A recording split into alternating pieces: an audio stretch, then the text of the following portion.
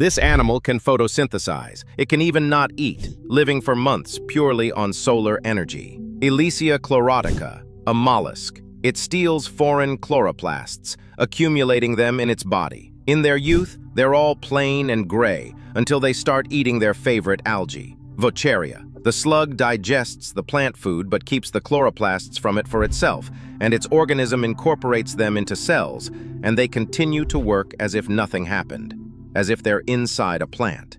This is called kleptoplasty. In its body, there's a whole network of channels connected to the digestive system, stuffed with chloroplasts, so it's green like a leaf. There's a hypothesis that the slug itself creates the missing components so that the stolen chloroplasts continue to efficiently photosynthesize, supplying it with glucose.